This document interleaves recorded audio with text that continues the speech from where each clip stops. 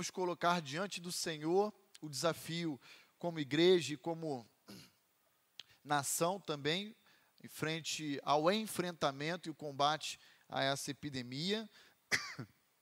E ah, o pastor Roni, mais uma vez, se coloca à disposição para conversar com cada um de vocês ou receber suas sugestões, seus conselhos. Ah, eu não tenho a palavra final nesse assunto, ok? Mas eu preciso oferecer à igreja a palavra final, é diferente, tá bom? Vamos orar então, queridos? Ó Deus, muito obrigado por tudo aquilo que o Senhor é e por tudo aquilo que o Senhor tem mostrado. Mostrado não apenas ao brasileiro, mas mostrado ao mundo inteiro quem tem o controle e o governo da história. Senhor, lembramos que situações caóticas registradas na narrativa bíblica sempre estão relacionadas a um momento de juízo. E a nossa leitura, como servos do Senhor, é de que talvez o Senhor certamente esteja querendo mostrar à humanidade quem tem o poder e a palavra final sobre a história. E nós sabemos que é o Senhor. Temos aprendido que esse vírus, ele é um vírus transitório, passageiro, não tão agressivo quanto muitas outras bactérias e outros tipos de vírus, mas que tem causado uma comoção mundial que só demonstra a nossa efemeridade. Por favor, Senhor, a nossa oração é que o Senhor proteja as famílias da tua igreja. Não apenas as famílias da Igreja Batista Vida Nova, mas todas as famílias do teu povo. Pedimos que o Senhor preserve a nossa integridade física, preserve a cada um de nós como igreja, nas nossas relações profissionais, relações de amizades aí no cotidiano, que o Senhor nos preserve de contaminação. E nos preserve também de sermos agentes transmissores desse vírus, ainda que desconheçamos que eventualmente possamos portá-lo. Senhor, abençoa tanto pela manhã quanto à noite, nossas reuniões, agora estudando a tua palavra no livro de Atos e à noite na nossa prestação de culto a ti. Pedimos que o Senhor seja honrado, que o Senhor cuide especialmente daquelas pessoas que fazem parte de um grupo de risco, que o Senhor as preserve e as guarde. Fala conosco ao longo de tudo aquilo que nós iremos estudar na manhã de hoje e no culto logo mais à noite. Nós pedimos isso em Cristo Jesus. Amém. Ok, queridos, então, reuniões de grupos pequenos estão mantidas, tá bom? Normalmente, ok? E se eventualmente alguém do grupo pequeno estiver gripado, não vá nessa reunião, tá bom? Se for o anfitrião, avise o seu líder e remarque um outro local para sua reunião para evitar exposições desnecessárias, tá bom? O culto também, um culto apenas, tem uma medida que eu não mencionei. Nós vamos reduzir de três encontros para dois. E aí você vai pensar assim: ah, mas eu só venho em um culto. Mas existe um grupo de cerca de 20 a 30 pessoas que dominicalmente ficam nos dois. E se vem na manhã, são três reuniões. É o grupo do louvor, é o grupo do som e imagem, é o grupo das crianças, é o grupo da cantina. Soma tudo isso para você ver quantas pessoas tem que ficar dominicalmente em três reuniões, né? Então a gente tem esse cuidado maior também. Tá bom, queridos? Ficou alguma dúvida? Eu estou aberto, tá bom? Então os irmãos têm total liberdade de compartilhar comigo suas impressões à medida que a coisa for se desenvolvendo ao longo da semana. Ah, muito bem. Então vamos olhar para o livro de Atos e vamos continuar estudando Atos capítulo 2, um dos capítulos talvez mais complexos e polêmicos do livro de Atos, mas muito também rico em ensinamentos. O que, que nós estudamos semana passada? Nós lemos os versos 1 a 13 de Atos 2, onde houve o famoso episódio de Pentecostes, e você há de se recordar que aquele episódio foi marcado por dois sinais e um grande resultado. Quais foram os dois sinais? Primeiro sinal, um sinal auditivo. Aquela, aquele grupo inicial estava reunido em uma casa e houve um som que chegou até eles, um som impetuoso como de uma ventania, de um vento intempestivo, digamos assim, né? Ah, não houve uma ventania dentro daquela casa. O que houve foi um som, como de uma ventania entrando dentro daquela casa, tá bom? Isso é diferente. Numa leitura superficial, alguns confundem. Também houve um outro segundo sinal aí, que é o sinal visual. Apareceu ou pousou sobre cada um deles línguas, idiomas, né, como ou semelhante aos de fogo. E aí, o que, que nós podemos aprender, como mencionamos semana passada a respeito disso? O fogo, na linguagem bíblica, sempre está relacionado a duas funções. Uma delas tem a ver com a purificação, outra dela tem a ver com o juízo. Quando um idioma desconhecido daquele que fala, ou língua, palavra glossa, pousa sobre cada um deles, o que eles haverão de falar ali, a ideia é essa que Lucas quer passar para nós. O que ele há de, a cada um deles há de falar, de discorrer, de pregar, vai produzir ou juízo ou purificação. E logo na sequência, nós observamos que é exatamente isso que acontece uma multidão, verso 6 de Atos 2, vai afluir até o colégio apostólico para perceber o que está acontecendo. De repente, nós encontramos dois tipos de reação. Por exemplo, Atos 2, verso 11 uh, e verso 12, vai dizer que eles estão surpresos, atônitos, por quê? Porque eles estão ouvindo aquele bando de Galileu, pessoas simples, falarem no seu idioma materno a respeito do quê? Das grandezas de Deus. E no versículo 13, você tem o outro oposto. Há uma atitude de zombaria, de escarnecimento. Então, como é que a gente entende o fogo? a partir da palavra, da língua, do idioma que está sendo proferido ali para eles. Para uns, gerando purificação, salvação, para aqueles que estão surpresos com aquela mensagem, e para outros, juízo, exatamente para aqueles que zombam, para aqueles que escarnecem, tá bom? E então, nós encontramos aí no verso 4 de Atos 2, ah, o resultado desse derramamento do Espírito Santo, que não é outro senão uma vida cheia do Espírito Santo de Deus. E antes de nós olharmos a passagem que nós iremos examinar hoje, eu quero mais uma vez reforçar para os irmãos, porque existe um entendimento muito equivocado a respeito de estar cheio do Espírito Santo.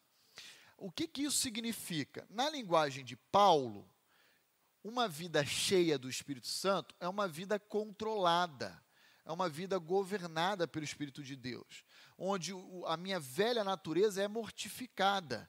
E como eu vejo isso? Qual é a evidência disso? O fruto do Espírito: mansidão, paz, longanimidade. Um crente que é explosivo, esse é um cara não governado pelo Espírito de Deus. Ele é até salvo e tem o Espírito habitando nele. Porém, ele não se deixa ser dominado pelo Espírito. Essa é a mentalidade do apóstolo Paulo no ensino a respeito de estar cheio do Espírito Santo. Ok? Pois bem, e na mente lucana? Na mente lucana, que é o autor de Atos, nós temos todas as vezes em que aparece a expressão cheio do Espírito Santo, uma relação com uma capacitação dada por Deus ocasionalmente a alguém ou a um povo para uma função típica presente no livro de Atos, que é o que?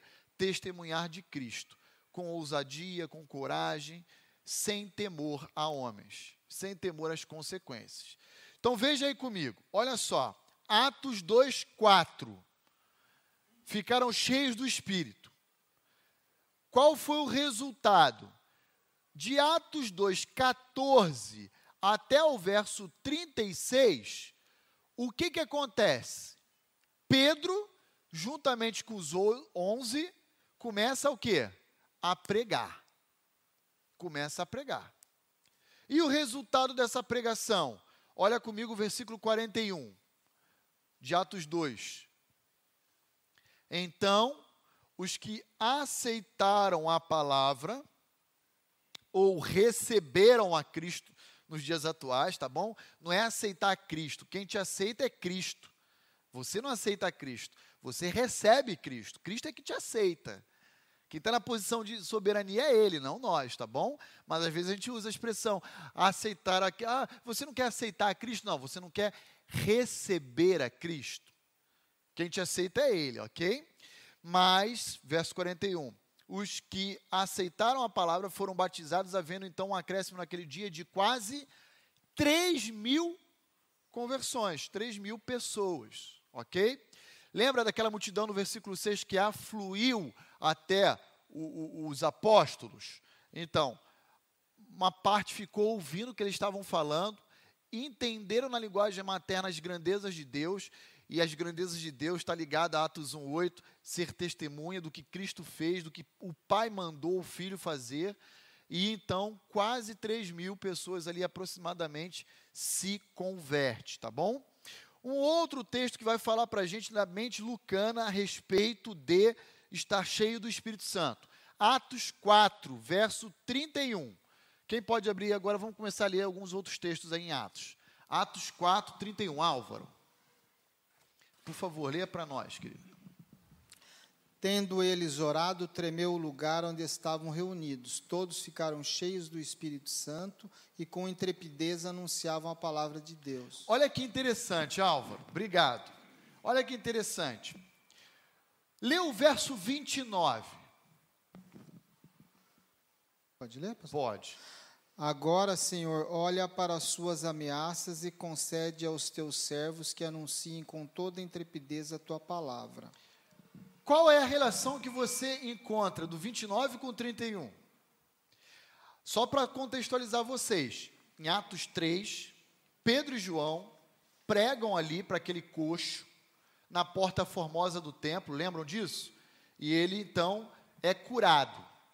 E aquilo causa uma comoção dentro do judaísmo, a ponto de prenderem Pedro e João, depois virem a soltá-lo, ok? A igreja está orando por eles.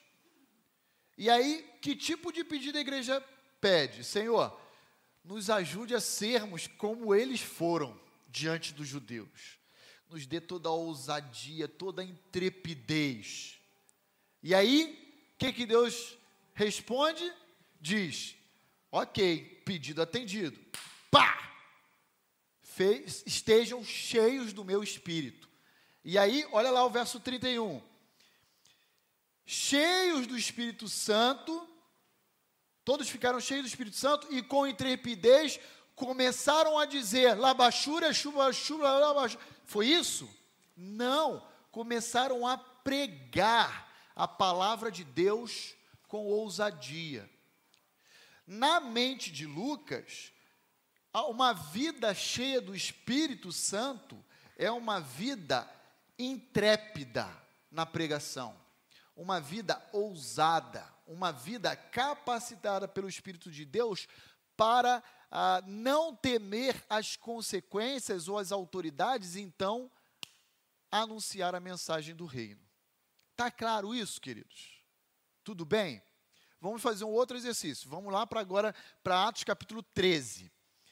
Vamos ver o que é cheio do Espírito Santo na mente de Lucas.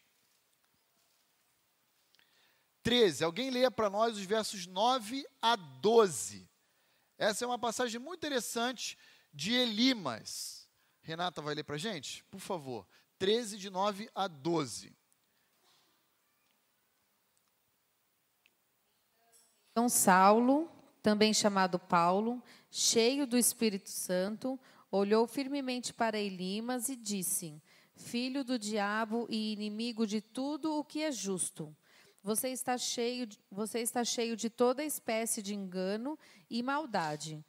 Quando é que vai parar de perverter os retos caminhos do Senhor? Saiba agora que a mão do Senhor está contra você, e você ficará cego e incapaz de ver a luz do sol durante algum tempo. Imediatamente vieram sobre ele névoa e escuridão, e ele, tateando, procurava quem o guiasse pela mão. O procônsul, vendo o que havia acontecido, creu, profundamente impressionado com o ensino do Senhor. Obrigado, Renata. Só para te contextualizar em Atos 13. Paulo quer pregar o evangelho ao procônsul romano chamado Sérgio Paulo. E tem um infeliz chamado Elimas que está dificultando a situação.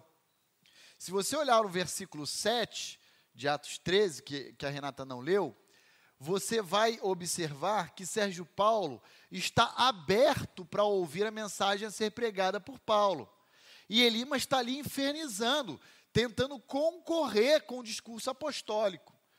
E aí Paulo para, e aí ele, com muito amor e carinho, se dirige a Elimas como o quê? Filho do diabo, filho do capeta. Você vai ficar cego há algum tempo para parar de impedir que o evangelho alcance Roma, os confins da terra, porque ele era o quê? Um procônsul romano. E imediatamente se escureceu ah, os olhos, a visão de Elimas. E qual foi o resultado? Olha lá o versículo ah, 12. Sérgio Paulo então creu, maravilhado com a doutrina do. Gente, a gente tem que parar de ficar achando que Deus é só amor. Que isso, pastor? Tem uma imagem tão bonita de Deus. Ele é amor. Não, a imagem que você tem é do Papai Noel, não é de Deus. É do coelhinho da Páscoa, que é docinho, que é bonitinho. Não é de Deus. Deus, ele é amor, mas ele não é só amor. Ele é justiça, ele é santidade. Então, ah, mas eu tenho que ficar orando por Elimas. Pergunta se Paulo ficou pensando dessa forma. Paulo falou: ó, sai da frente. Você não quer nada? Sai da frente. Eu vou alcançar aqueles que estão abertos para o Evangelho. E se me impedir, o juízo de Deus vai cair sobre você. Agora, tudo bem que Paulo tinha as credenciais apostólicas de operar sinais e maravilhas, coisas que eu e você não temos, ok? Ah, mas você tem algo que Paulo também tinha e que é suficiente, é a oração. Senhor, tira Elimas lá do meu trabalho da minha frente. Tira, faz-o calar. Aquele filho do. Você conhece a história, tá bom? Então, veja aí. Paulo, cheio do Espírito Santo, roga uma praga como uma espécie de juízo contra Elimas. Então, às vezes a gente pensa assim, ó, o cara falou aquilo porque ele não estava cheio do Espírito, ele estava na carne. Uma ova, uma ova. Paulo estava repleto do Espírito Santo de Deus. Está aí no texto de Atos 13, tá bom? Então, o que, que é uma vida cheia do Espírito Santo na mentalidade de Lucas? Uma vida cheia do Espírito Santo na mentalidade de Lucas é uma vida habilitada pelo Espírito de Deus para exercer uma função dentro do reino como testemunha de Cristo de forma ousa- ousada, intrépida e destemida. Tá claro isso, queridos? Ó, Atos 2, Atos 4 e Atos 13. Poderíamos mencionar outras passagens, mas nós vamos parar por aqui, tá bom? Por isso que quando Pedro chega a- a- lá no versículo, em Atos 2, no verso, deixa eu ver aqui, é, 14, ele vai dizer, olha, 14 não, perdão, é, 15. Ele vai dizer, queridos, vocês que não ah, nos conhecem pessoalmente, eu quero dizer para vocês que essa turma não está embriagada.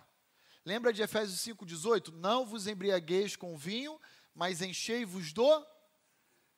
Pedro está falando isso já antes de Paulo. Está dizendo, ó, eles estão cheios do Espírito.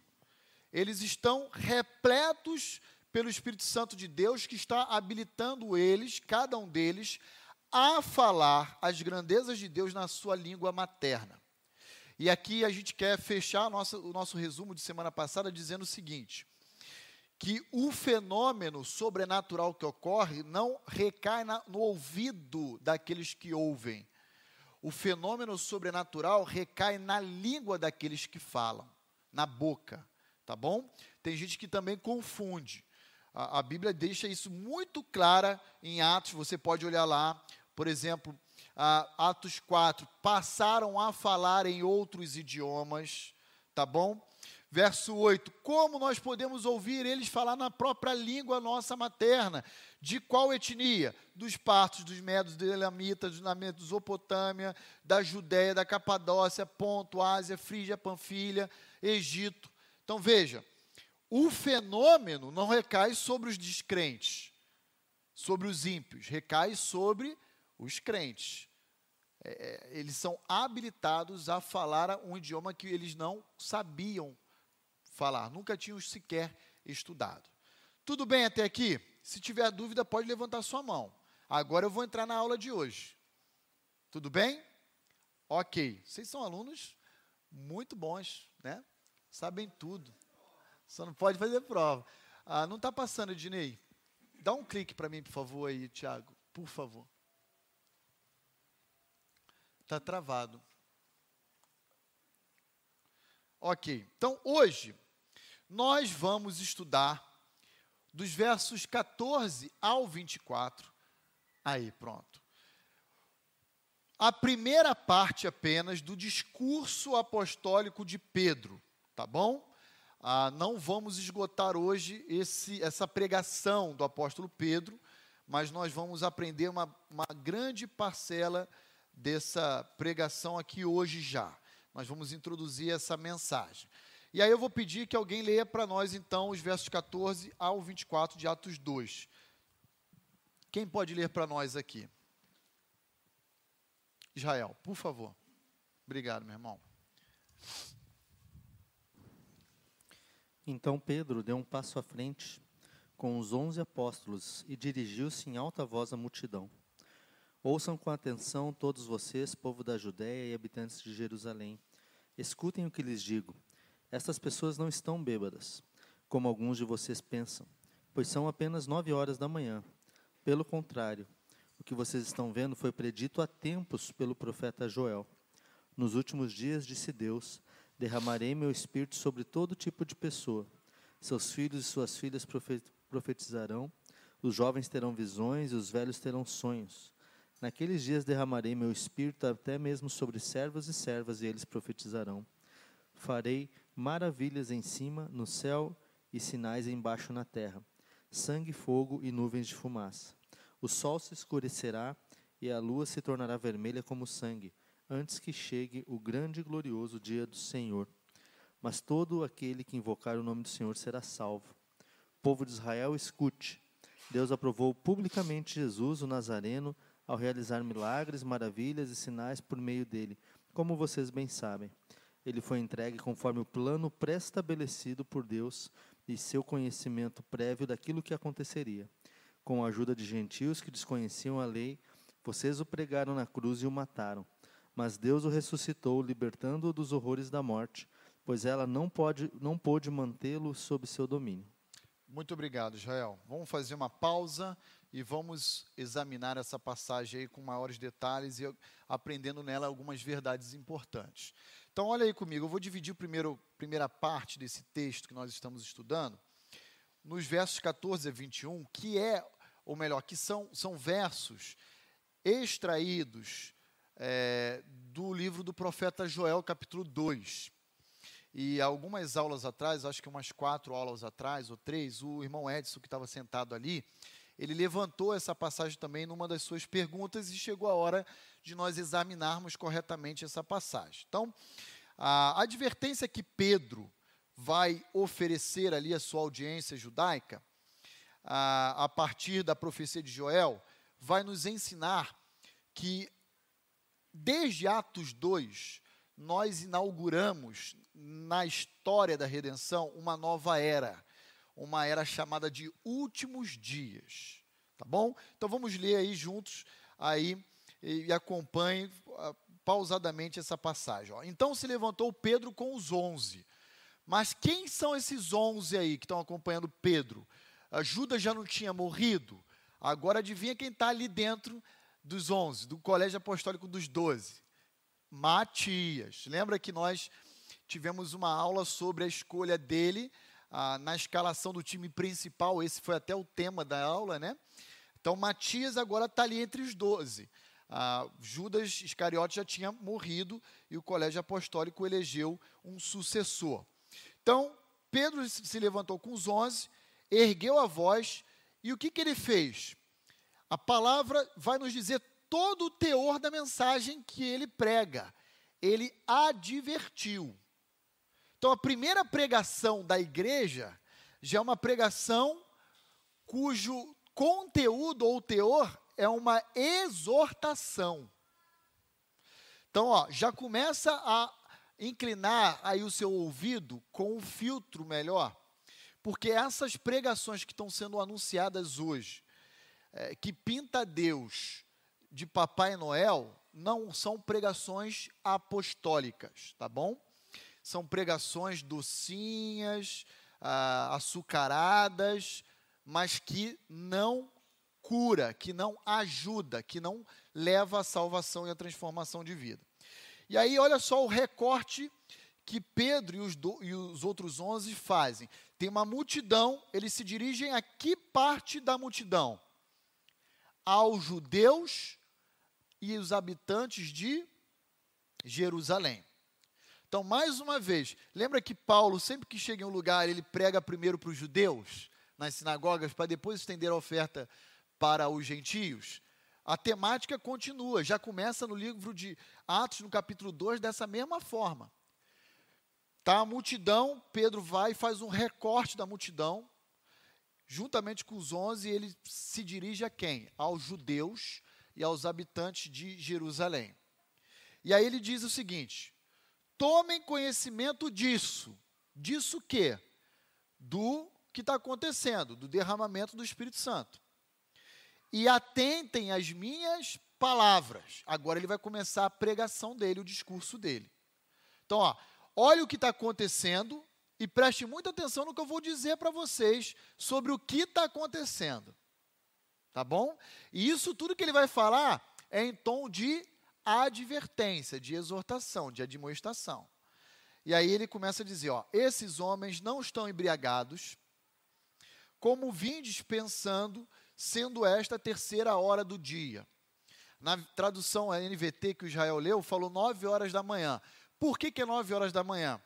Era um costume antigo dividir o período do dia em horas. Como o nascer do sol normalmente era seis da manhã e o pôr às 18 horas, você pega das seis às 18, diminui, dá o quê? 12. E aí você começa a cronologia a partir das seis da manhã. Qual é a terceira hora do dia, depois das seis da manhã, que é quando inicia o dia? Às nove. Por isso que na tradução dele já foi nove horas da manhã. Não é que no texto estava nove horas da manhã, tá bom? Era a terceira hora do dia. Mas eles já, os editores já traduziram como sendo nove horas da manhã. Então veja aí. Por que, que algum, algumas pessoas daquela multidão estão zombando? Porque estão dizendo assim, cara, mal começou o dia, e olha como essa galera aí já está encaixaçada. Eu, eu, eu cresci na periferia do Rio de Janeiro, e lá na esquina, 50 metros da minha casa, tinha um boteco. E era impressionante, às vezes eu saía de casa às seis e meia da manhã para ir para a escola, que eu estudava na minha infância, a maioria do tempo pela manhã. E eu passava para ir até o ponto de ônibus, em frente àquele boteco. Vira e mexe tinha briga, tinha morte. Vim da favela, irmãos, eu vim da favela. E me assustava ver que tinha naquele boteco seis e meia da manhã já umas pessoas manguaçada. A ideia é essa aqui, daquela multidão que está zombando. Como é que pode? Mal começou o dia, a galera já está chapada. E aí Pedro vai falar: ó, não é isso que se trata. Eles estão cheios de outra coisa, não é de álcool, é do Espírito Santo de Deus. E aí ele começa versículo 16 dizendo o seguinte: O que vocês estão presenciando aqui é o que foi dito por intermédio do profeta Joel. Abre aspas, e agora ele começa. E acontecerá nos últimos dias, diz o Senhor, que eu derramarei do meu espírito sobre toda a carne. Quando a gente olha a partir do verso 16 aí, perdão, é, 17 até o 21, nós temos três maneiras de compreender essa citação de Pedro. Quais são as maneiras de se interpretar ou de se entender essa passagem? Primeira delas, tudo o que aconteceu em Atos 2 se cumpriu perfeitamente conforme previsto no livro do profeta Joel, capítulo 2. Quem costuma entender dessa forma? São aqueles que, no âmbito da escatologia, entendem ou a, aderiram o entendimento amilenista. Ou seja, não existirá um milênio físico, terrestre, terreno. Ah, ele, a igreja já vive o milênio de Cristo. É a maneira deles entenderem. Então, Atos 2 aconteceu e aquilo cumpriu totalmente a profecia de Joel, capítulo 2, tá bom? Então, os amilenistas creem dessa forma. Aqueles que não aguardam um cumprimento futuro de um reino milenar. Agora, irmãos, se você não gosta de escatologia, eu lamento, mas eu vou ter que entrar nessa área, tá bom? Detalhadamente para a gente entender qual é a intenção por trás de Pedro nesse discurso dele.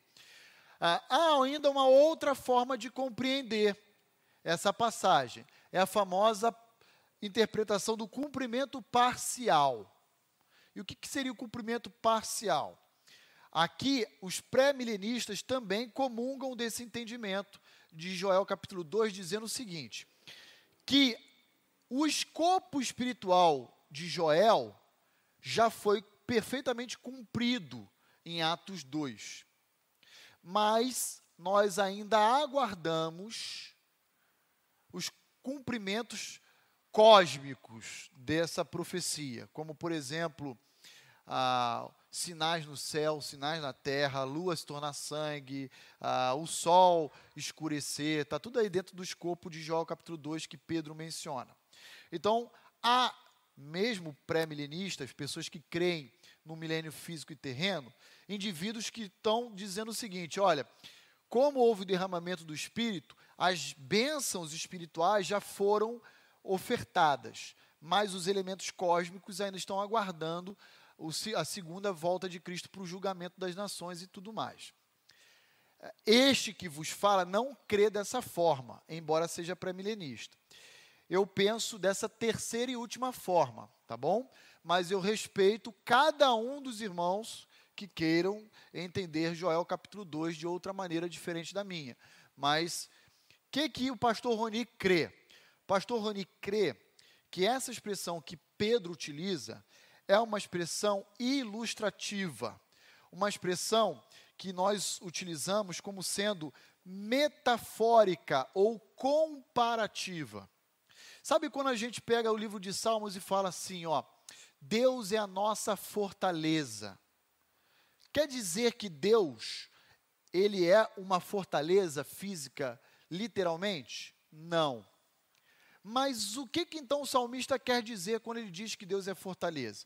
Ele, por uma comparação, ele diz: Deus para mim me preserva e me guarda como se fosse uma fortaleza. Deus é a minha rocha. Quer dizer que Deus é uma pedra? Não. Deus é a minha segurança. O que Pedro está fazendo é comparando, a partir da profecia de Joel, capítulo 2, com aquele momento em que o Espírito Santo havia sido derramado entre o povo. E ele não está dizendo absolutamente que nada que Joel profetizou está se cumprindo ali, mas que se assemelha àquele evento ali. Esse que vos fala defende que tudo que Joel falou só terá um cumprimento futuro. Nada do que Joel falou se cumpriu em Atos 2. Nossa, pastor, mas é difícil entender isso porque Pedro está dizendo isto é o que Joel disse. Mas veja, a maneira de Pedro proferir o seu sermão é uma forma metafórica, comparativa, ilustrativa. Com isso, Pedro está dizendo: ó, existe uma semelhança, não uma equivalência. Equivalência, sim, há uma correspondência. Quer ver a diferença? Olha só em Atos 1, como é que Lucas diz equivalência. Olha lá, verso 20 de Atos 1. Porque está escrito no livro dos Salmos. Isso aqui é equivalência, é cumprimento. Olha lá o versículo 16 de Atos 1. Irmãos, convinha que se cumprisse a Escritura, que o Espírito Santo. Então, agora o que vai falar sobre Judas é cumprimento. Em Atos 2, verso 16 e 17 em diante, não existe essa fórmula de citação. O que existe é uma apresentação comparativa entre aquele fenômeno que está acontecendo em Atos 2 com uma semelhança do que vai acontecer no cumprimento profético de Joel, capítulo 2. Ah, antes de você levantar sua mão e fazer suas considerações, deixa eu só concluir esse bloco dizendo o seguinte: por que que Pedro então menciona a profecia de Joel, pastor? Todo bom judeu, todo bom judeu ele conhece o Antigo Testamento, especialmente a Torá.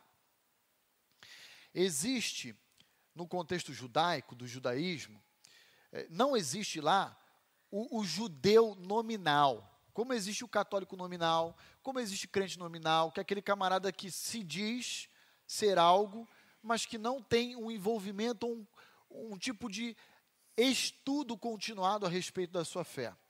No judaísmo isso não acontece.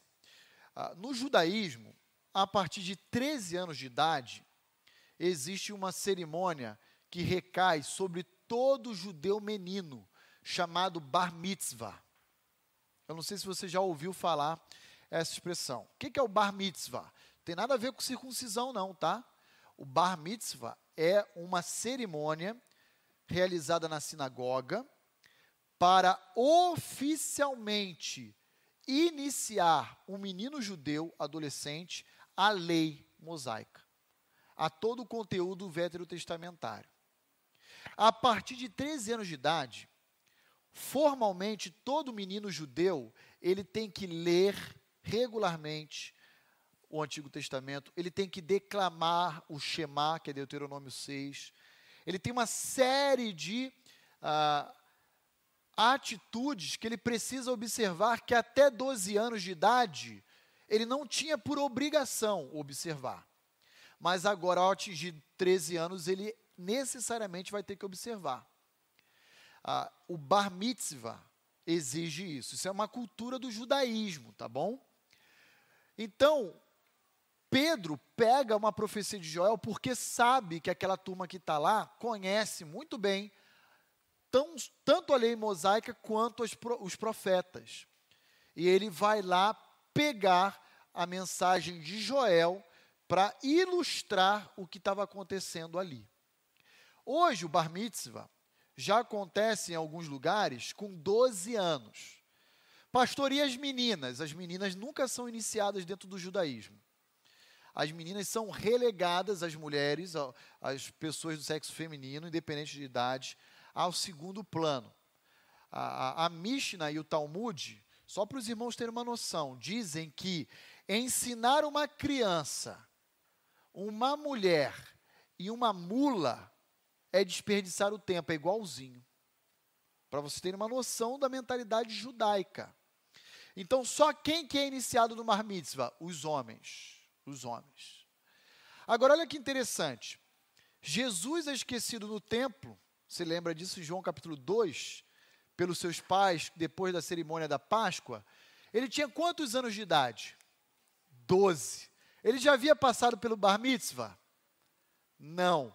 E o que, que ele está fazendo quando ele é encontrado pelos pais no templo? Ensinando as autoridades religiosas. E por isso, João capítulo 2 diz que o resultado é o espanto daquelas autoridades, dizendo: Nossa, caramba, esse menino nem foi iniciado e sabe tudo isso da lei. Porque Cristo já estava apontando para quem no seu ensino? Para a sua própria pessoa. Para o Messias que havia de vir ao mundo e que, ele, que os próprios judeus não reconheceram ele. Tá bom? Então, queridos, isso aqui é apenas para tentar familiarizar vocês com o contexto de Atos 2, ajudando você a compreender que todo judeu, perceba mais uma vez, é varões israelitas e os habitantes de Jerusalém.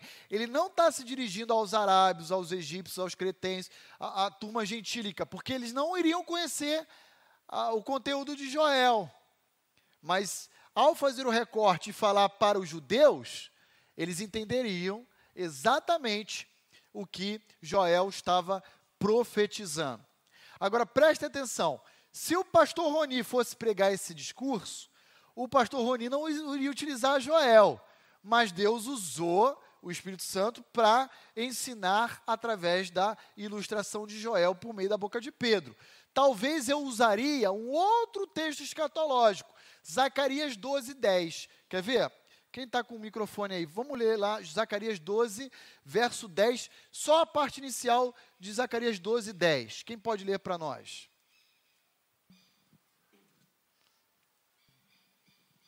Por favor, Rafael. 12, verso 10, apenas a parte inicial do verso 10. E sobre a casa de Davi e sobre os habitantes de Jerusalém derramarei o espírito da graça e de súplicas. Eu usaria só essa parte aí, Rafael. Né? Porque se você continuar o texto, certamente você vai observar que ele aponta também Zacarias 12 para um futuro, para o momento do retorno de Cristo. Mas talvez eu usaria a, a parte inicial do verso 10 para dizer, olha, o que vocês estão vendo aqui é que o derramamento aconteceu. Né? Não exatamente como Joel diz que ainda vai acontecer. Então, volta lá para Atos 2. Olha só o que Joel diz que vai acontecer. Ah, deixa eu abrir aqui. Muito bem, ó. Eu vou derramar o meu espírito sobre toda a carne. Foi isso que aconteceu? Hã? Me responde aí, pode, fica sem medo de errar. Não foi. Não foi. Vamos continuar na leitura. Vossos filhos e vossas filhas profetizarão. Houve em Atos 2, de 1 a 13, algum registro de que isso tenha ocorrido? Não. Vamos continuar lendo. Ah, vossos jovens terão visões e sonharão os vossos velhos. Aconteceu isso em Atos 2, de 1 a 13? Não. Calma, vamos continuar lendo. Até sobre os meus servos e sobre as minhas servas derramarei do meu espírito naqueles dias e profetizarão. Houve isso? Não. Mostrarei prodígios em cima no céu e sinais embaixo na terra: sangue, fogo e vapor de fumaça. Aconteceu isso em Atos 2? Não. O sol se converterá em trevas e a lua em sangue, antes que venha o grande e glorioso dia do Senhor. Aconteceu isso? Não. E acontecerá que todo aquele que invocar o nome do Senhor será salvo. Queridos, qual é a conclusão que eu quero colocar para os irmãos? E aí eu vou abrir para os irmãos interagirem comigo. Eu defendo e sustento que toda a colocação de Pedro foi meramente ilustrativa e comparativa. Que tudo que Joel capítulo 2, de 28 a 32 ensina e foi mencionado por Pedro é algo exclusivamente futuro e que ainda há de se cumprir sobre a nação de Israel. Por isso, eu não vejo cumprimento parcial, porque até em Joel 2, quando fala do derramamento do Espírito, ele fala sobre toda a carne. E não foi sobre todos ali ah, de Atos capítulo 2, todos os judeus, pelo menos. Vamos lá, vamos abrir. Ednei, leva lá para o João ao fundo lá para mim, por favor. Você também quer falar? Deixa o João, depois você fala. Dá, dá sua, sua vez lá para o João. Vamos lá. Pastor Rani, em Pois não, relação querido. a Atos 2, no versículo 19, que Certo. fala acerca de prodígios e de sinais, teria alguma relação com o Apocalipse no, no, no versículo 14, 15? De A Apocalipse das 6? Sete, das sete taças, das pragas De da Apocalipse de Deus. 6? Sim. Sim, tem toda, toda a relação. Eu vou ler depois. Essa sua pergunta, eu vou segurar ela por enquanto. Tá bom? Para responder. A gente vai ler as passagens, porque como eu estou defendendo aqui apenas a forma de interpretar essa passagem, dizendo que ela tem um cumprimento totalmente futuro, depois que a gente abrir aqui para esse diálogo, aí eu vou ler as passagens que vão apontar para o futuro. E eu vou ler Apocalipse 6. Tá bom? Ednei. É, eu acho que se encaixa na pergunta do, do João. Está relacionado à grande tribulação, Joel 2? totalmente relacionado à grande tribulação. Aliás, já abram sua Bíblia lá em Joel capítulo 2, porque a gente vai ver que até mesmo o início do discurso de Pedro altera a citação do profeta Joel. Quer ver? Alguém lê aí, vai você mesmo, Ednei, que você está com o microfone aí, 2,28. E deixa mantido Atos 2, 17. E Para a gente fazer uma comparação aqui. E acontecerá depois que derramarei o meu espírito sobre toda a carne. Segura.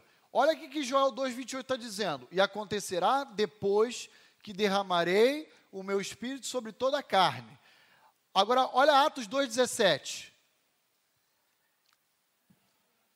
E acontecerá que depois dos últimos dias, está lá na sua Bíblia? Muito bem. Por que, que Pedro está falando últimos dias? E Joel está dizendo depois disso. Porque Joel capítulo 1, até o início do capítulo 2, Deus está falando por meio do profeta sobre um juízo que ele iria derramar sobre toda a nação. Ele usa como figura desse juízo o gafanhoto para devorar e ilustrar a fome, a seca que o povo de Israel iria, iria não, vai passar ainda um dia. Agora Pedro está dizendo o seguinte: olha, inauguramos os últimos dias. E a qualquer momento, o que o profeta mencionou pode acontecer. É isso que Pedro vai dizer para nós. A igreja já vive os últimos dias. Agora, isso que Joel 1, 1 até Joel 2, 27 vai falar, será a última semana os sete anos de, pre, de previsto lá por Daniel capítulo 9, Daniel capítulo 12, que nós não vamos poder ler agora, mas tem a ver com o período tribulacional. Tribulacional. Quando Deus vai derramar o seu juízo através de taças, através de selos e através de trombetas, que descrito lá no livro de Apocalipse. A igreja não estará aqui, porque todo juízo está sendo direcionado para um grupo. Quem é esse grupo? Israel, a nação de Israel. Por quê? Porque eles endureceram seu coração. E aí, quando a plenitude dos gentios, que é a igreja, chegar no seu auge, a igreja vai ser arrebatada e vai ter início, então, as sete semanas de Daniel lá. A septuagésima semana, quer dizer. Deixa eu chegar aqui no Israel aqui. Cadê o microfone? Ah, está aqui. Segura aí, Ednei. Quando, quando a gente lê ali, então, nos últimos dias, derramarei meu espírito sobre todo tipo de pessoa. Que que... Tá, tá na sua versão todo tipo de É. pessoa? Isso. É, na verdade, não seria todo tipo de pessoa. Seria toda a carne mesmo.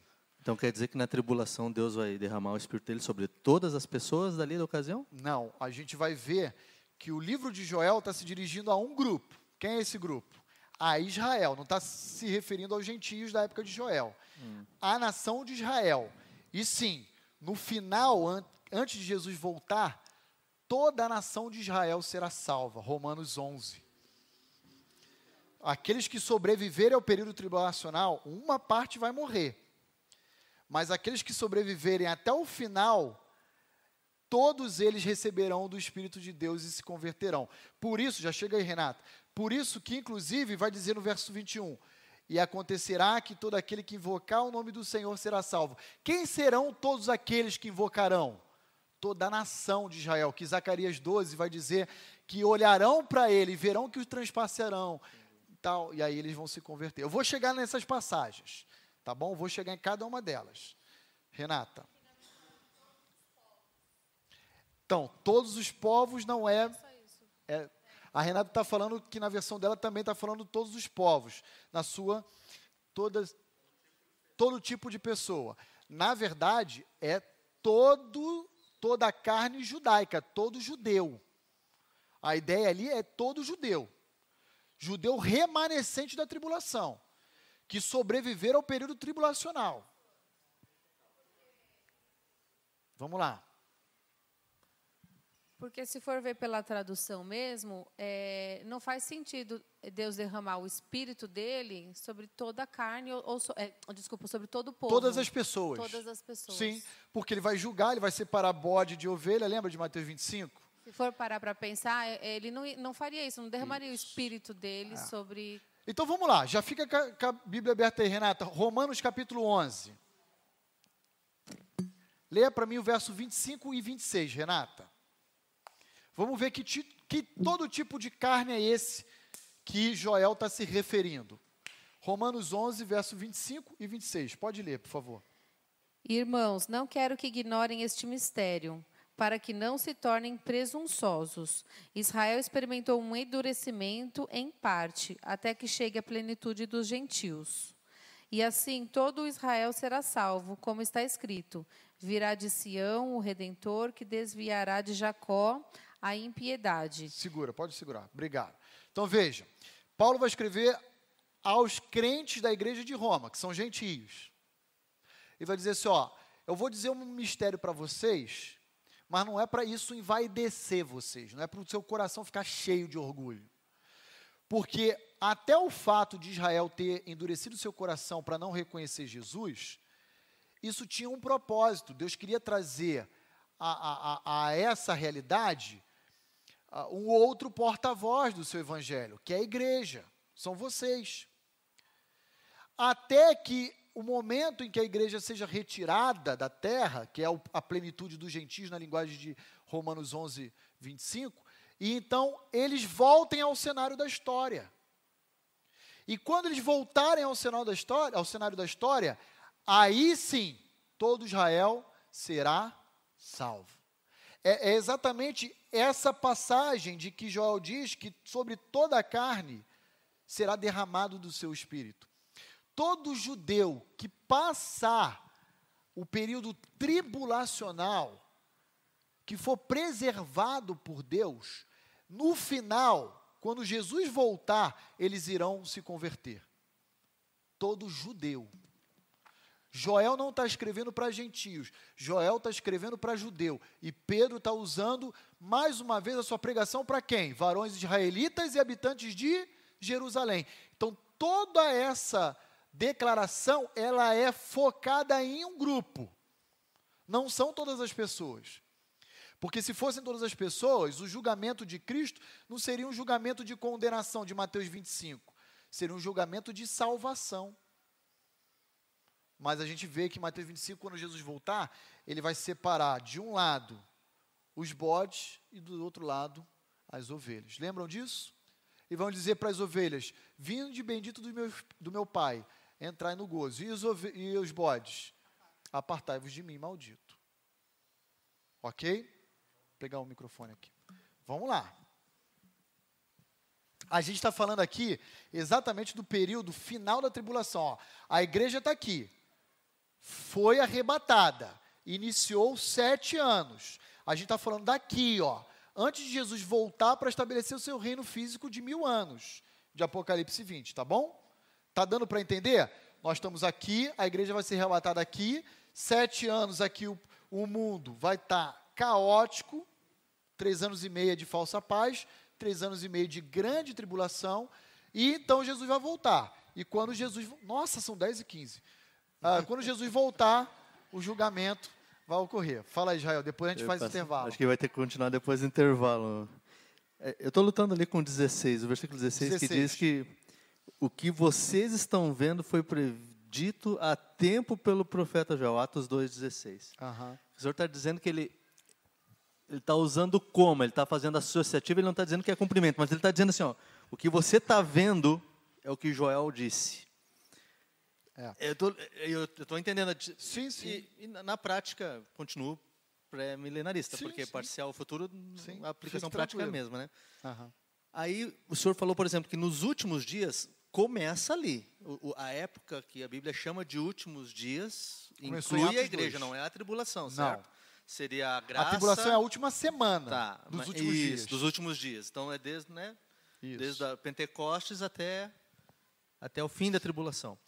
E aí, só que você está dizendo que essa citação de Joel não se aplicou somente ao que a gente leu aqui do capítulo 2. Mas, por exemplo, ela não poderia ter cumprimento parcial no livro de Atos, já que os últimos dias se aplica a tudo, e a gente vai ler em Atos, por exemplo, lá, acho que estava lendo aqui o 21, onde as filhas de alguém profetizavam. O, como é que é o nome lá? Filipe. Filha de Filipe, isso. Então, ali tem um cumprimento parcial disso aqui. Por isso que eu estou na dúvida entre cumprimento parcial e futuro, porque apesar dele não ter cumprimento parcial dentro do capítulo 2, parece ter cumprimento parcial, parcial, Parcial. durante o livro de livro, Atos, é. mais atrás, ou em qualquer momento dos últimos dias poderia haver esse cumprimento parcial. É, quem defende a ideia do cumprimento parcial a- faz exatamente essa mesma Ah, afirmação. ok. Você está alinhado com o discurso daqueles que interpretam dessa Que não forma. necessariamente seria ao capítulo 2, Isso. mas em Seria Atos como um todo do pode acontecer algumas partes do cumprimento. Isso, poderia. Tá. Só que a dificuldade, Israel, é porque quando a gente olha a profecia de Joel, até mesmo profetizar das filhas de Filipe foi algo pontual. Quando, na verdade, a profecia de Joel é algo generalizado para toda a nação judaica. São os vossos filhos, as vossas, os vossos velhos terão visão, jovens profetizarão. A gente só tem as filhas de Filipe. E se não me falha a memória, possivelmente há uma discussão se esse Filipe é o Filipe ah, diácono de Atos 6, se esse Filipe ele era judeu, se- então às vezes nem seja talvez judeu Entendi. a filha dele e ele. Então, a, a questão é: houve um derramamento do Espírito? Houve. Mas esse derramamento do Espírito é esse de Joel capítulo 2? A meu ver, não. Porque seria sobre toda a carne, todos os judeus. Então, não há equivalência, correspondência. O que há é semelhança. E por isso eu defendo de um cumprimento totalmente futuro. Totalmente futuro. E, e- a palavrinha no grego ali é tuto estin, que significa isto é. Isto é, é a fórmula matemática da, da metáfora nas escrituras. Isto é tal coisa. É uma figura de linguagem por comparação. Isto é, Deus é a rocha, Deus é meu sol, Deus é minha fortaleza. Isto é, é fórmula de, é me- metafórica, é ilustrativa mesmo, tá bom? Irmão, vamos fazer uma pausa de 10 minutinhos apenas e a gente volta depois do café, tá bom? Muito bem, queridos irmãos. Vamos voltar aqui para a nossa aula, que já é um pouquinho complexa, porque esse assunto que nós estamos ministrando é um assunto que não é muito comum ser trabalhado nas igrejas e que, em função disso, muitos até desconhecem. Sabem que, por exemplo, o livro de Joel está na Bíblia, mas nunca nem leu o livro de Joel e nunca nem imaginava do que a gente está falando aqui juntos, né? Então, volte comigo aí, pegue o seu lugar, para que a gente possa olhar aí esses textos e essas verdades aí apresentadas por Pedro no seu sermão.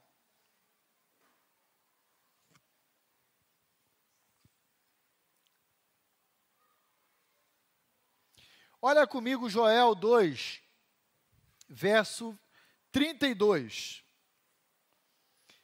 Nós acabamos aqui o intervalo aqui a aula, olhando para esse texto, eu quero só fundamentar essas afirmações que eu tenho feito com os irmãos, dizendo que esse assunto se aplica ao povo de Israel exclusivamente, tá bom? Olha lá. E acontecerá que todo aquele que invocar o nome do Senhor será salvo. Quem são esses todos aqueles aqui que vão invocar? Olha o verso 32 dizendo: Porque no monte de Sião e em Jerusalém estarão os que forem salvos, como o Senhor prometeu, e entre os sobreviventes, aqueles que o Senhor chamar. Então, esse é um verso com um paralelismo, se referindo ao mesmo grupo. Quem é esse grupo? É o grupo que está em Sião e em Jerusalém. Quem é esse grupo? Judeus. Os judeus. Judeus sobreviventes, judeus remanescentes da tribulação. Tá bom? Não vai ter a possibilidade de um judeu que passou a tribulação inteira no momento do retorno de Cristo, não reconhecer que ele é o Messias prometido de Israel. Ele será convertido, ele será, uh, ele receberá o Espírito Santo de Deus que vai regenerá-lo, que vai convencê-lo do pecado, da justiça e do juízo, tá bom? Feito essa consideração, vamos agora olhar aí à luz de Atos 2, que é a expressão de Joel 2, alguns textos que nos apontam para isso que eu estou defendendo aqui com os irmãos, de que toda essa profecia de Joel, ela não foi cumprida nem parcialmente e será plenamente observada no porvir. Então, olha lá comigo, e agora eu vou entrar na consideração do João, vou entrar em alguns textos que apontam para o porvir. Mateus 24, eu vou abrir e vou ler aqui com os irmãos. Mateus 24. Deixa eu abrir aqui também. a partir do verso 29. Deixa sempre Atos 2 aberto também, tá? Para você ir comparando os textos que eu vou estar tá falando, lendo, com o que Pedro está citando de Joel. E vejam as semelhanças aí ah, que aparece para nós, tá bom? Então, olha só. Atos 2, mostrarei prodígios em cima do céu, sinais embaixo da terra. E aí, sinais na terra, você pode entender fome, catástrofe, terremotos, é, uma série de pragas e tudo mais que Mateus 24 vai estar tá falando para nós, né? Sangue, fogo, vapor de fumaça. Aí, olha só, o sol se converterá em trevas e a luz em sangue, antes que venha o grande e glorioso dia do Senhor. Agora, Mateus 24, 29 a 31. Logo em seguida, a tribulação daqueles dias, o sol escurecerá, a lua não dará a sua claridade, as estrelas cairão do firmamento e os poderes do céu serão abalados.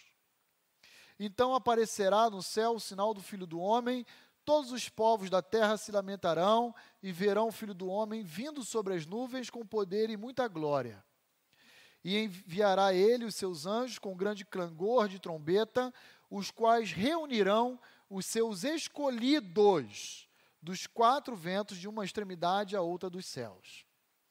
Então, temos aqui ah, mais uma vez um relato paralelo futuro que tem a ver com o cumprimento profético de Joel 2, citado por Atos 2 pela palavra de Pedro. O verso 29 diz: Logo em seguida a tribulação daqueles dias. Que tribulação é essa? É a tribulação que nós vivemos hoje com o coronavírus? Não. É bem mais intensa, tá? Eu diria. Coronavírus é fichinha. Olha lá, Mateus 24, 21.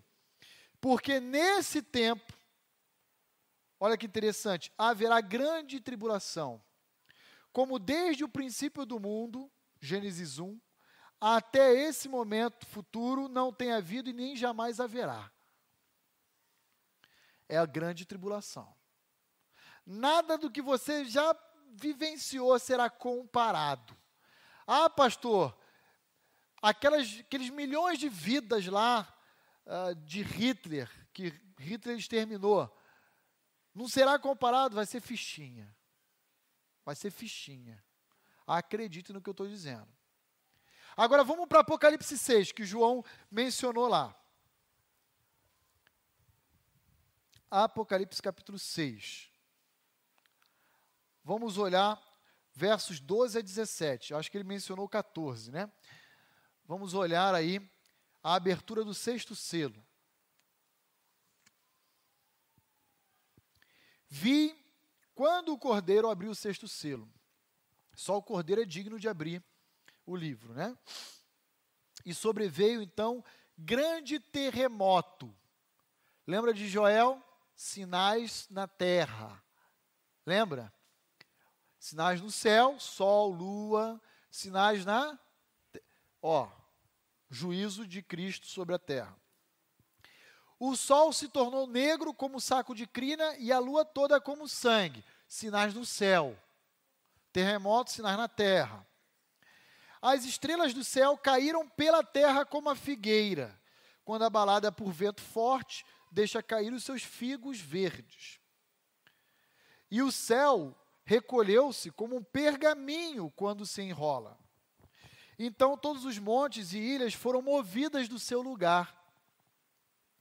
Os reis da terra, os grandes, os poderosos, os milionários, os comandantes, os ricos, os poderosos e todo o escravo e todo o livre se esconderam nas cavernas e nos penhascos dos montes e disseram aos montes e aos rochedos: Caia sobre nós e escondei-nos da face daquele que se assenta no trono e da ira do porque chegou o grande dia da ira deles.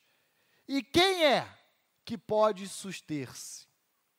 Olha o que, a humanidade vai clamar quando Jesus estiver voltando.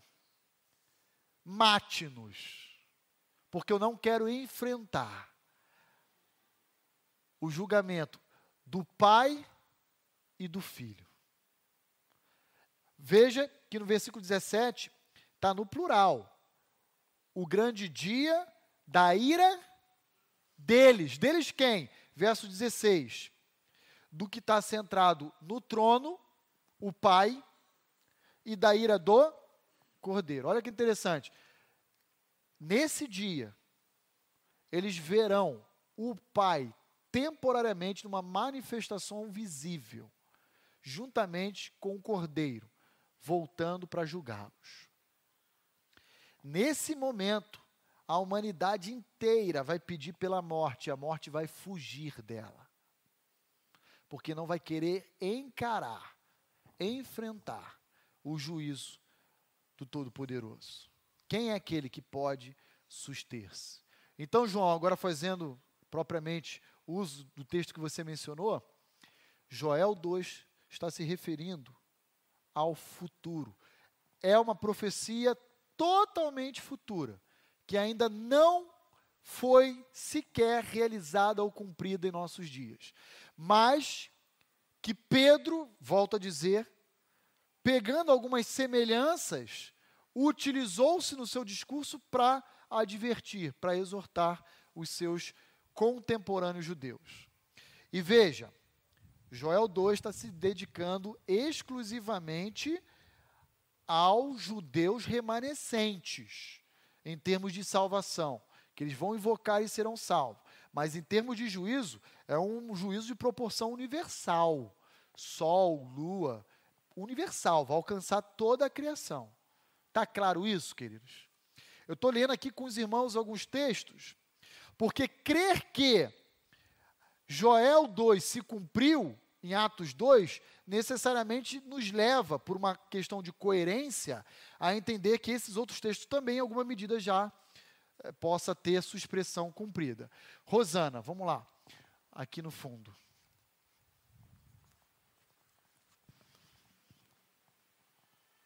Por favor, querido.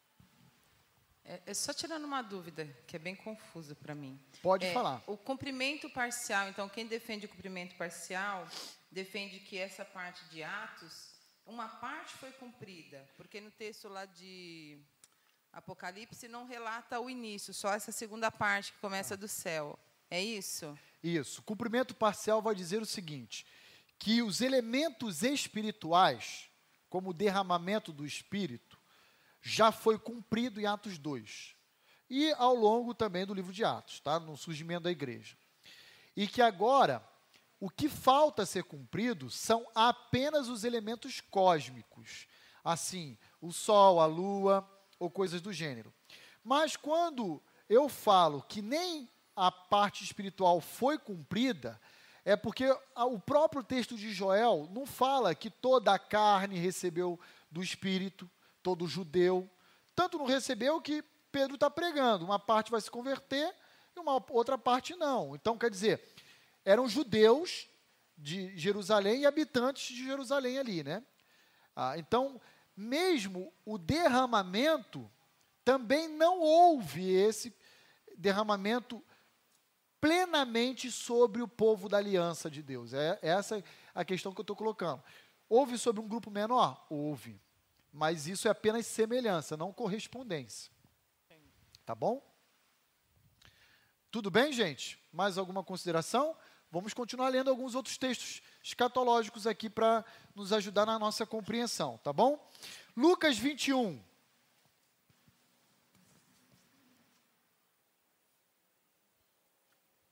A partir do verso, ah, deixa eu ver aqui, 25, que fala sobre a vinda do Filho do Homem.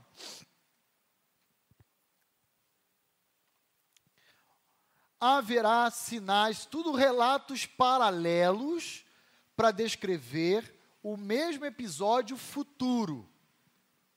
Qual é esse episódio futuro? É o final da tribulação com o retorno de Cristo, a sua segunda vinda para julgar as nações.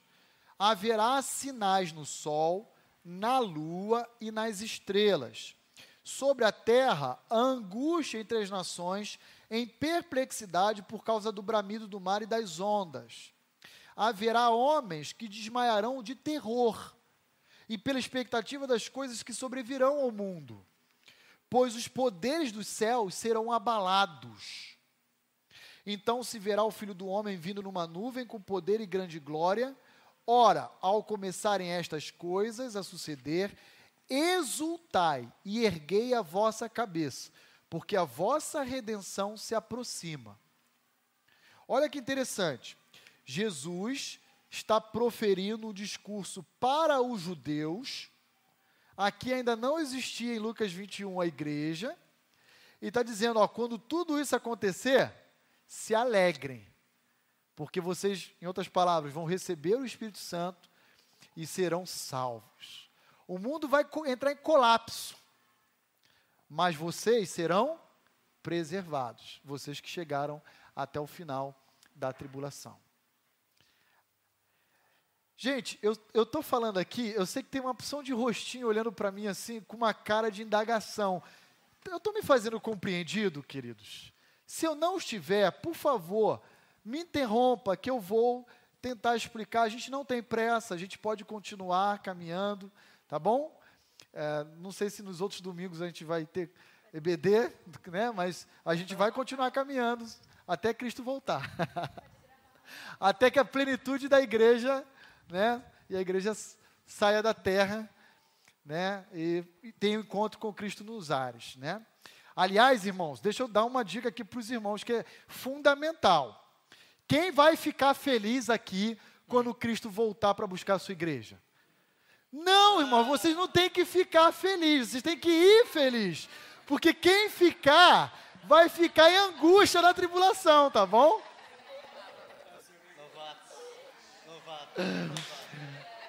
Tem que ir feliz.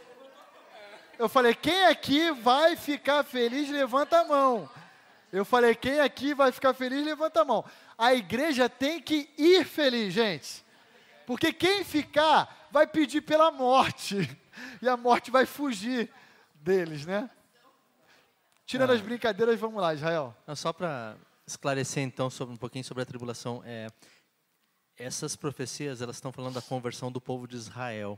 No final do período É. tribulacional. Temos outras passagens que falam se gentios também vão se converter na tribulação? Temos. Apocalipse vai nos mostrar que a partir do ministério de duas testemunhas que serão levantadas, ah, 144 mil judeus se converterão. 12 mil de cada uma das 12 tribos. E, então, na metade do período tribulacional, essas duas testemunhas serão mortas e o ministério de ah, pregação por parte dessas 144 mil, desses 144 mil judeus, será tão efetivo que o evangelho do reino será pregado em todas as nações. Mateus 24, 14, eu acho. E como resultado disso, milhares, milhares gentios se converterão. O que mostra para nós que, mesmo no período tribulacional, o Espírito Santo de Deus continuará habitando na terra e continuará exercendo o ministério de conversão. Talvez um pouco diferente do que nós estamos acostumados hoje, por causa de um outro contexto, mas ele continuará atuando. Então, vamos ver isso, já que você perguntou. Apocalipse, deixa eu ver qual é o, o capítulo 7, né? Mas deixa eu só ver os versos. Ó. Isso, ó. 7, 4. Então eu ouvi o número dos que foram selados, que era 144 mil de todas as tribos dos filhos de Israel. Da tribo de Judá, 12 mil. Da de Ruben, 12 mil. Então, cada. ah, Deus vai levantar a conversão, vai gerar a conversão do período tribulacional de cerca de 144 mil judeus a partir do ministério exercido pelas duas te- testemunhas.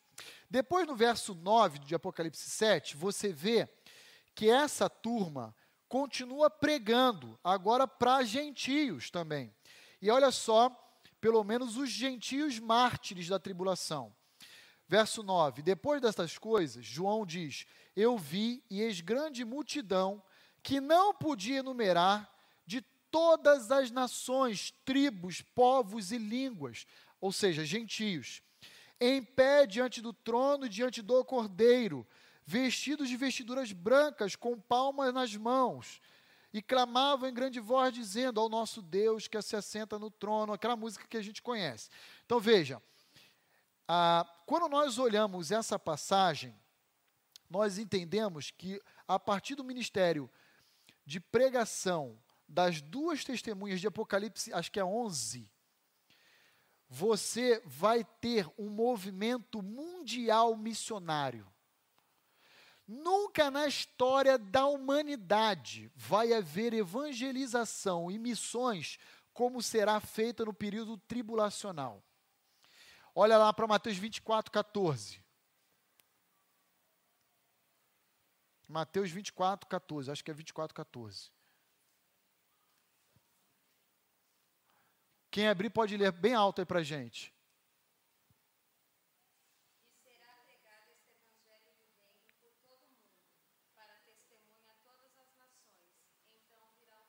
E então virá o fim. Vai vir o fim do quê?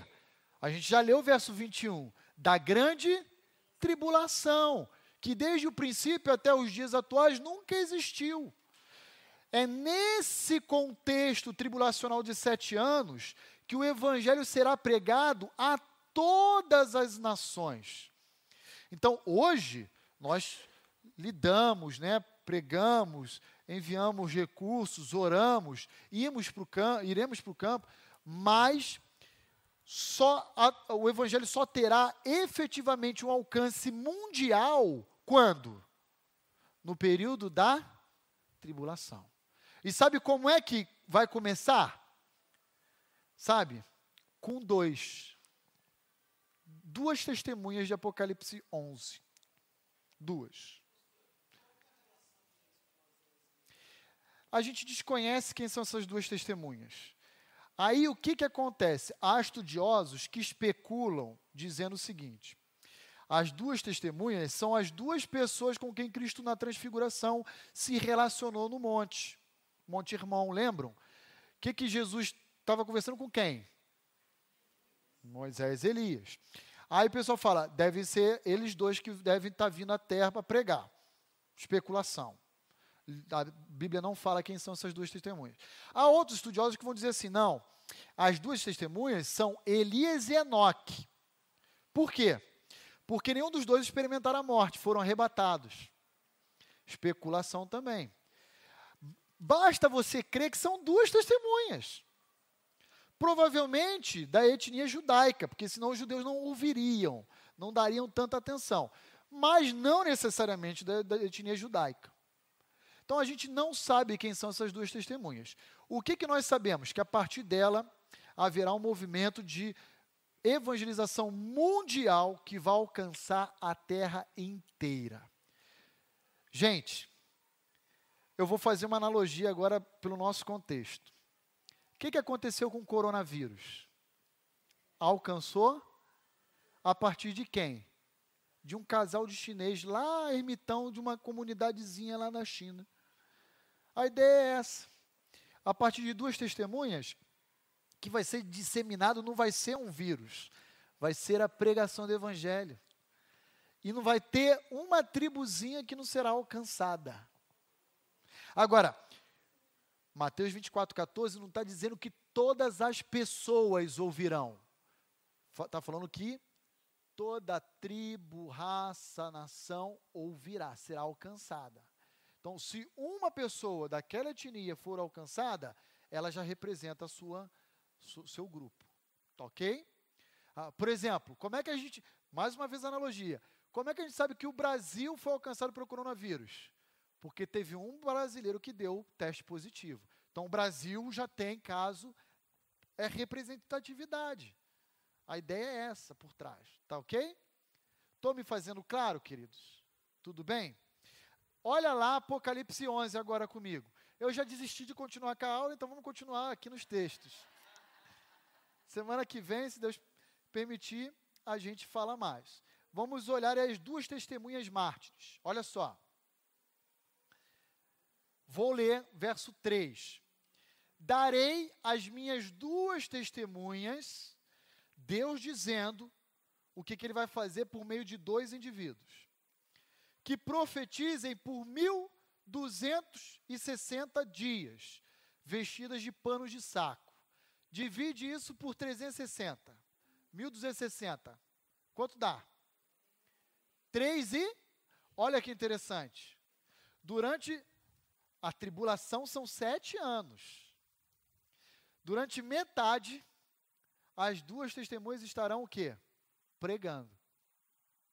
E depois, olha que interessante. São estas as duas oliveiras e os dois candeeiros que se acham em pé diante do Senhor da terra. Se alguém pretende causar-lhes dano, sai fogo da sua boca e devora os inimigos. O que é o fogo da boca? É juízo, é uma palavra igual Paulo fez com Elimas. Ó, vai rogar uma praga e pá! Não tenta encarar essas duas testemunhas, porque eles estão capacitadas por Deus. Ok? Sim, se alguém pretende causar dano, certamente deve morrer. Igualzinho Paulo fez com Elimas lá em Atos 13. Só que Paulo não, não, não, não rogou para a morte, só uma cegueira temporária, né? Elas têm autoridade para fechar o céu. Para que fechar o céu como? Fechou a porta do céu? Não é isso. Para não chover, está aí o texto dizendo, ó, para que não chova durante os dias em que eles profetizarem como um sinal para que o povo entenda e, e, e reconheça a autoridade deles. Tem autoridade também sobre as águas para convertê-las em sangue, como Moisés recebeu essa autoridade de Deus diante do Faraó.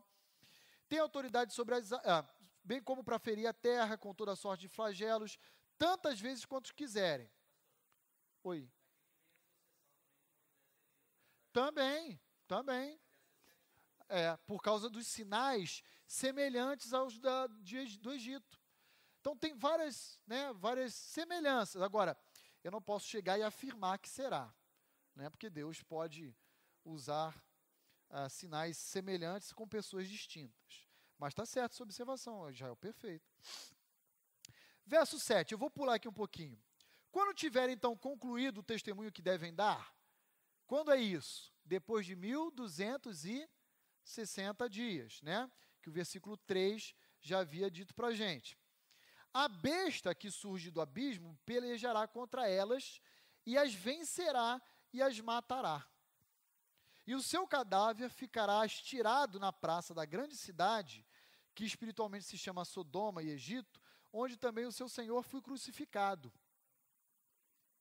Onde Jesus foi crucificado? Jerusalém. Monte Gólgota, né, o da caveira. Mas olha como é que João está chamando os habitantes daquela, daquele lugar: de Egito e Sodoma. Para mostrar a espiritualidade daquele povo. E aí vai dizer: então, muito dentre os povos, tribos, línguas e nações contemplam os cadáveres das duas testemunhas por três dias e meio e não permitem que esses cadáveres sejam sepultados. Verso 10: Os que habitam sobre a terra se alegram por causa deles. Sabe o que vai acontecer? Uma comemoração mundial. Até que, enfim, fizeram calar a mensagem daquelas duas testemunhas. Vai haver uma comemoração, igual quando em Nova York teve lá, quando Bin Laden morreu. Não sei quantos lembram da reportagem. O povo, pá, né, que os americanos conseguiram uma. festejando a morte ah, de, das duas testemunhas. Por quê? Porque você acha que a mensagem que eles traziam era uma mensagem docinha, de açúcar? Não. E depois dos três dias e meio, do versículo 11, né? quer dizer, do versículo que ele é morto, é o versículo uh, ah, 10. Não, não. 11 é depois, né? Mas depois dos três dias e meio, um espírito de vida vindo da parte de Deus vai penetrar neles, e eles vão se erguer sobre os pés, e aqueles que os viram sobre veio grande medo.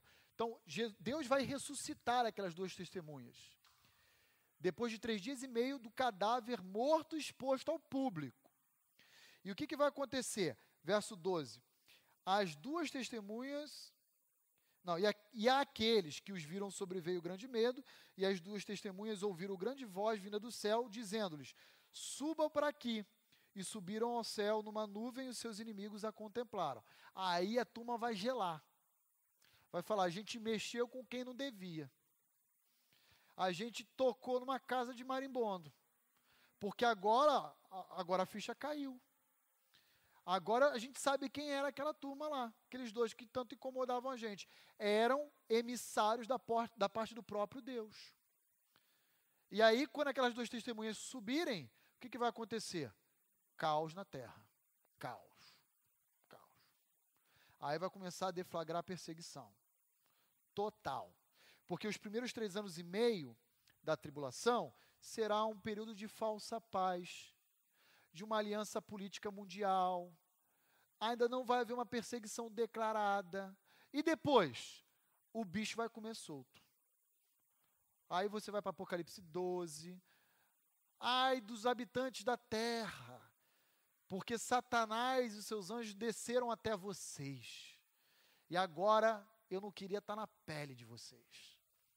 E aí, diz que Deus vai levar o seu povo a sua nação para o deserto, para ali cuidar deles durante todo o período que falta ter para terminar esse ciclo. Ok, queridos? Então falamos bastante, bastante de escatologia hoje. Vou parar por aqui, tá bom? Mas eu, eu, eu quero perguntar se eu me fiz entendido por vocês. Tá claro, queridos?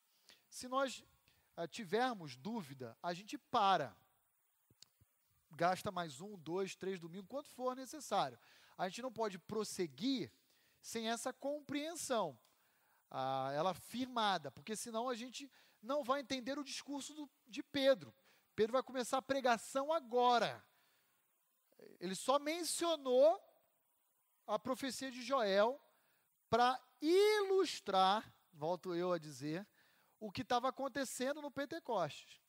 Agora, a partir do versículo 22, ele vai começar com a pregação. E sai da frente, porque não tem pregação é, é, doce, não. E isso deve chamar muito a nossa atenção, porque hoje o que a gente vê é, são, são pregações totalmente tendenciosas, é, o homem é o centro. São, às vezes, quando alguém fala sobre Deus e a sua soberania, não, não mostra a realidade da culpa do homem, só foca em Deus. E a gente vai ver, Atos 2, que Pedro não vai poupar esforços em dizer: vocês são culpados, vocês são culpados, vocês são culpados. É, é assim que Pedro vai dizer o tempo inteiro. Vocês são assassinos. Imagina alguém dizer isso abertamente para um público né, grande. Vocês são assassinos. Vocês não sabem perder. Porque todas as vezes que Jesus é, desmentiu o que vocês falaram, sabe aonde vocês levaram isso? Para a cruz. Mas ainda assim, o Pai ressuscitou o Filho. Olha, olha o descompasso de vocês. Vocês acham que estão obedecendo a Deus, mas vocês, na verdade, estão totalmente avesso à vontade de Deus.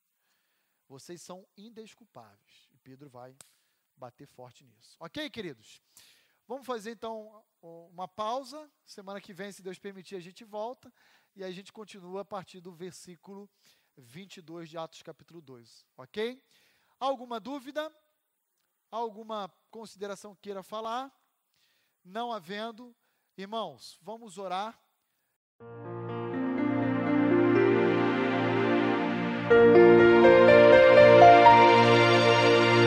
Música